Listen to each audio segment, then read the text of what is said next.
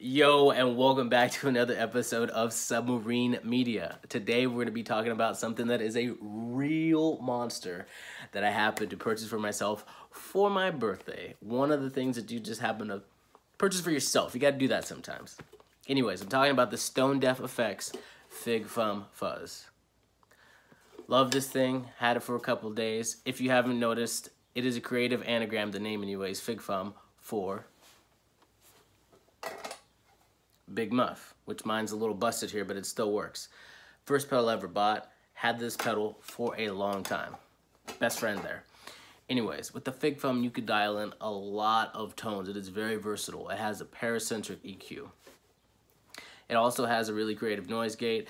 It's fantastic. It works really well. Uh, for people who don't like gnarly fuzz feedback. I love feedback. Blah, feedback. I love feedback. so it doesn't really matter to me. Um, so that's there for those people who like that. Works really well. What I did for this demo is I just created a loop. The start and start time of it is a little off, but uh, that doesn't, that's not what we're here for. We're just here for the sounds. And what I did through the loop is I just turned the knobs so you could hear the different tones you can get out of this thing. It's ridiculous. So what you'll want to do is listen to this through your headphones so that you could hear the different tones. You'll notice that throughout the demo there might be a little bit of a volume drop, not something you have to worry about. In the instruction manual it lets you notice that you'll have to experiment with the balance knob and very rarely since I've been playing this thing do I have to go and do something to my amp. You'll have to experiment with the balance knob to get it to match pedals some of the tones anyways. Um, this, this is the instruction manual, and it stays pretty true to that. Really digging this so far, so let's just jump into the functionality of the pedals, and then it's to start with the video. I'm just to show you the noise gate when the video begins, just turning it on and off. It'll be feedbacking, and you'll notice that it'll go totally quiet, um, and then I'm to just jump into the sounds. So let's go to the functions. All right, so first of all, I want to mention the EQ is fantastic. It doesn't just go from low to mid to high. You can really dial it in with this bad boy. That teamed with the bandwidth selector here, you could get it to be really thin and needlepoint to just really fat. And they say at fat as a usual pedal response for the frequency sweep. Um, five positions in this bad boy. Then, of course, as in any fuzz pedal, you could dial in the amount of fuzz from here. This is going to be the noise gate and you dial in the threshold of noise reduction on this bad boy. And then we have the cut or boost where you could cut or boost at negative or plus 20 dB. Fantastic. And then also we have the balance knob that I was talking about that you'll have to experiment with to get the volume. And it mentions that in the instruction manual. So what we're gonna do now is jump right into it. I'm just gonna show you the noise gate how it works and then we're gonna jump right into the sounds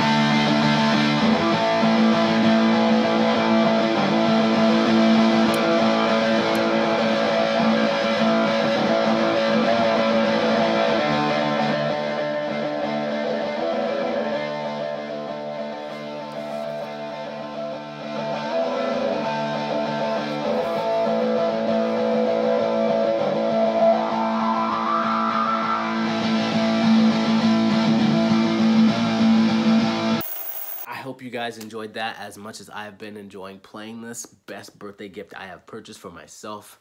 I absolutely love fuzzes. So if you have any suggestions, let me know. I have quite a few and I don't plan on not buying any in the future. So you'll see more of that on this channel as well as other pedals. Uh, I have recently purchased the Electro Harmonix Oceans 11 as you can see back here. I'll be doing a demo of that and then I also have the Walrus Audio Slo. It's on back order so it'll be coming in about a week and I'll be doing a demo of both of those um, so stay tuned like subscribe share let me know what you'd want to see out of those pedals let me know if you liked the no talking knob turning demo of this um, or if you want to see something else. Any questions about the Fig Fumb, leave it in the comment section, suggestions, comment section as well. And we will see you next time on another episode of Submarine Media.